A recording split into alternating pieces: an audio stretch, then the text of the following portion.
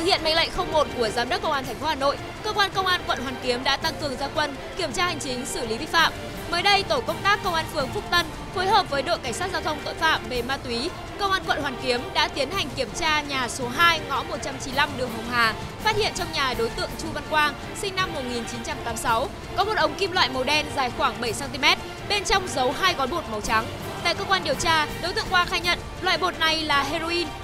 mua mang về để sử dụng. Qua đấu tranh, cơ quan công an xác minh được đối tượng Quang đã có hai tiền án về tội danh mua bán và tàng trữ trái phép chất ma túy. Hiện cơ quan cảnh sát điều tra công an quận Hoàn Kiếm đang hoàn tất hồ sơ để khởi tố đối tượng về hành vi tàng trữ trái phép chất ma túy và xử lý theo quy định của pháp luật.